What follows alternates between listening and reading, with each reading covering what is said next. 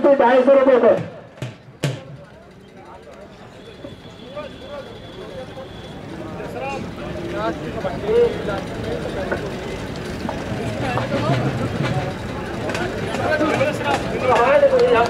ये पहलवान, काले पहलवान बागपत और वेनित गुरु प्रकाश अखाड़ा।